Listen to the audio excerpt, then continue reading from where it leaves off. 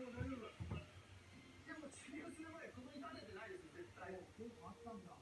の様子を福井先生に見てもらうと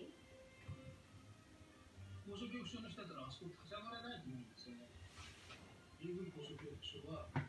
できてると思います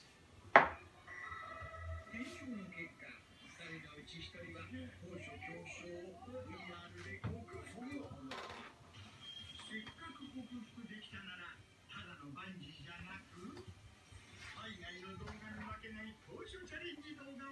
画を撮りたいのでこれからこのヘリに乗ってもらいますちなみに何するんですかヘリに乗ってもらい上空でエンジンを止めて空港化するロケですそれはやだこれ用意したのは高所が苦手な人には絶対できないロケ。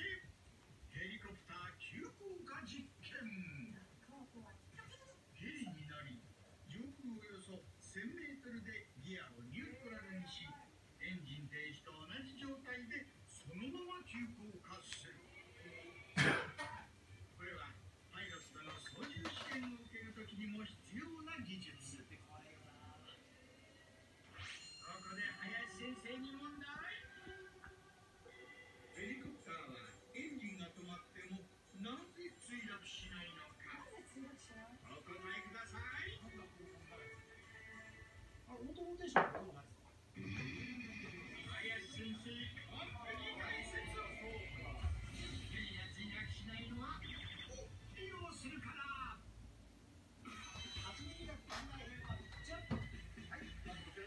覧ください